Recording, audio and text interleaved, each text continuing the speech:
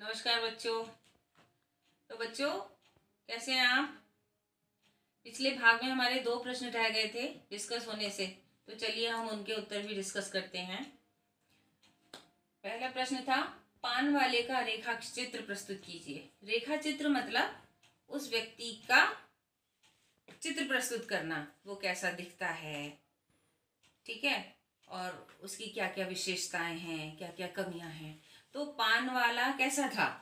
पान वाला एक काले रंग का मोटा व्यक्ति था, लेकिन खुश मिजाज व्यक्ति था। वो हर समय पान खाता रहता था, इससे उसके दांत काले, लाल हो गए थे और बहुत ही खुश मिजाज था।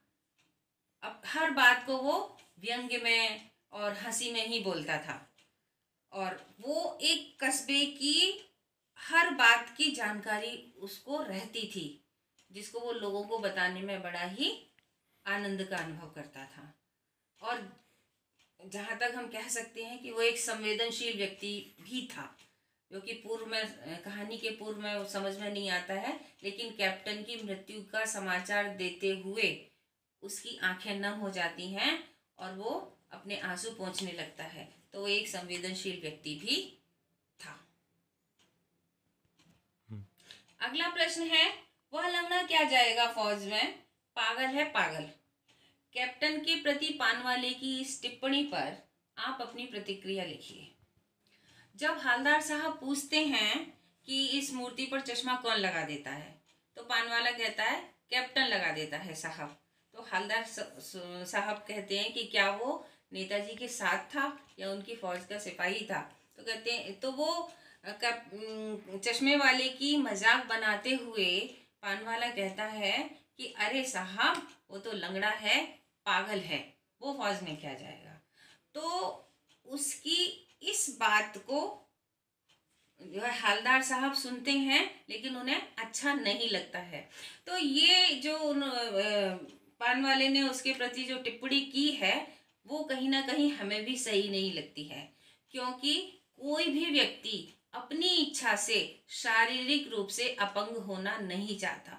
अगर वो शारीरिक रूप से या मानसिक रूप से उसके अंदर कोई कमी है तो ये ईश्वर की इच्छा से होता है या किसी दुर्घटनावश होता है।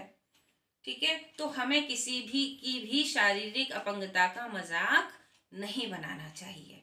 और वहाँ कैप्टन जैसा व्यक्ति, जो कि बहुत ही साधारण था, फिर भी उसकी वो देश प्रेम से ओतप्रोत था देश प्रेम की भावना उसके अंदर कूट कूट कर भरी हुई थी। तो ऐसे व्यक्तियों का तो बिल्कुल भी नहीं और हमारी समझ से तो किसी भी व्यक्ति के शारीरिक या मानसिक अपंगता का मज़ाक नहीं बनाना चाहिए। हम्म। तो बच्चों ये तो हमने प्रश्नोत्तर डिस्कस कर लिए।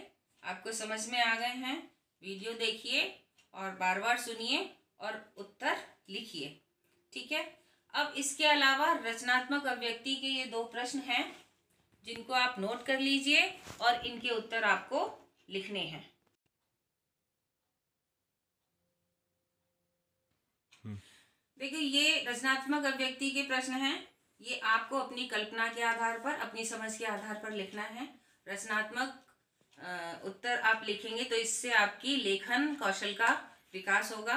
लिखने की कुशलता आपके अंदर आएगी। ठीक है? इसमें पहला है कि हालदार साहब ने जब तक चश्मे वाले को नहीं देखा था, तब तक उनके दिमाग में क्या उसका चित्र रहा होगा? तो ये आप अपनी कल्पना की उड़ान से लिखिए। कल्पना कीजिए कि क्या वो सोच सकते हैं। पान वाले ने जैसे बताया था, कैप्टन कैप्टन लगा देता है चश्मा तो उसको सोच करके, उसको सुन करके उनके मन में क्या उसका चित्र रहा होगा?